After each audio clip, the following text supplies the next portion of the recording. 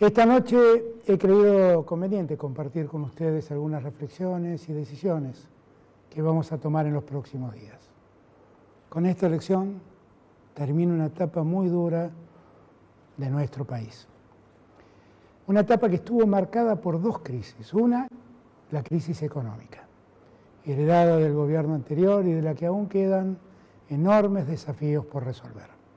Otra, la crisis sanitaria provocada por una cruel pandemia que poco a poco vamos superando.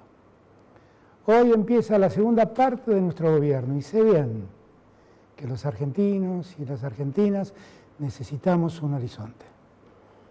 Tenemos derecho a la esperanza, tenemos derecho a la esperanza. Hablé y escuché a centenares de personas.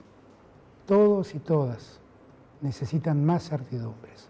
Saber que cada día, cada mes, estaremos un poco mejor. Saber que después de tanto dolor, también en homenaje a quienes nos han dejado, podremos ir reorganizando nuestras vidas. Estoy seguro de que lo vamos a conseguir. Argentina, aún en el marco de estas dificultades, viene avanzando y lo va a seguir haciendo. Nos estamos poniendo de pie. Estoy convencido de que desde el respeto profundo a la expresión del pueblo en las urnas, se abre una etapa nueva para nuestro país.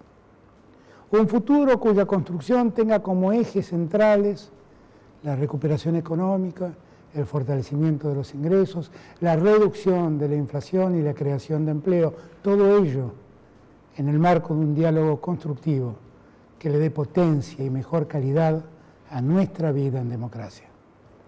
La economía está creciendo alrededor del 9% este año y a inicios del año próximo el Producto Bruto Interno habrá recuperado lo perdido el año pasado. A principios del año próximo, la producción industrial